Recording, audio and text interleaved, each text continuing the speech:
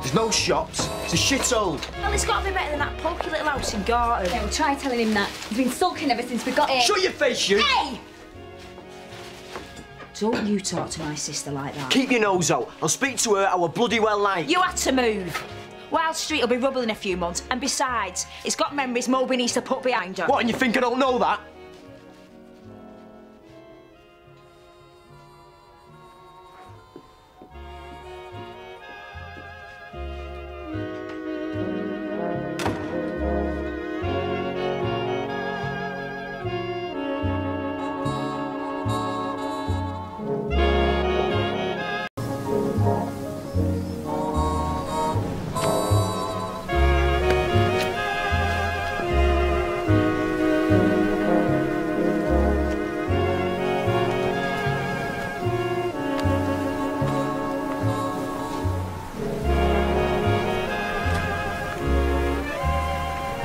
Not new.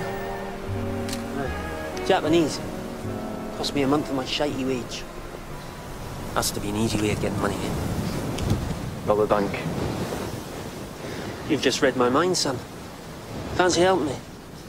Bit out of my league. Why? You've stolen before, haven't you? I mean, using court for it. Yeah, that was just ciggies from a corner shop, man. So you've no moral qualms.